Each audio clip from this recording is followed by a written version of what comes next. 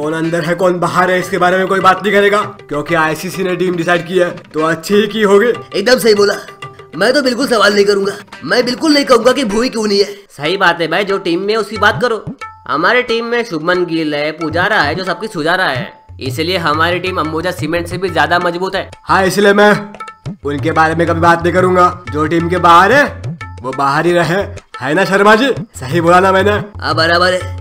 मैं तो हार्दिक पांडे के बारे में बिल्कुल बात नहीं करूँगा क्योंकि वो नीली जर्सी में ही फिट है। वो जब भी टेस्ट में आता है उसका टेस्ट बदल जाता है। अब मैं तो पृथ्वी शॉ की भी बात नहीं करूँगा क्योंकि पिछली बार उसने टेस्ट में बेस्ट नहीं दिया था। लेकिन भुवन के बिना लगान में मज़ा नहीं आएगा। हाँ बात तो सही है लेकिन वो हमेशा जख्मी रहता है हम क्या करें?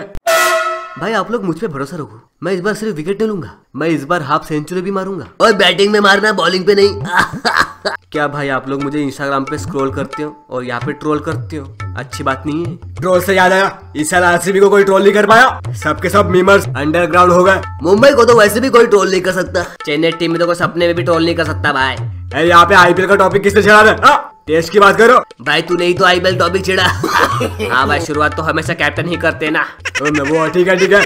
कोई बात है अब आईपीएल की बात कोई नहीं करेगा सिर्फ़ आरसीबी की बात करेगा। मेरा मतलब वर्ल्ड टेस्ट चैंपियनशिप की बात करेगा। इस बार हमारा केन विलियमसन से मुकाबला है। ये मुकाबला सुबह अल्लाह होके लैला के पास बैगन का थैला लेके जाएगा जिसका हम भरता बना के खाएँगे। मेरा नाम है गिल। इस बार सबके फाड़ूँगा मैं बिल। और भाई बिल फाड़ना मत। वो कागज़ जो है मुझे दे देना। मैं कच्चा चिवड़ा खाऊँगा उसमें। आई आईपीएल में मुझे खेलने का मौका नहीं मिला।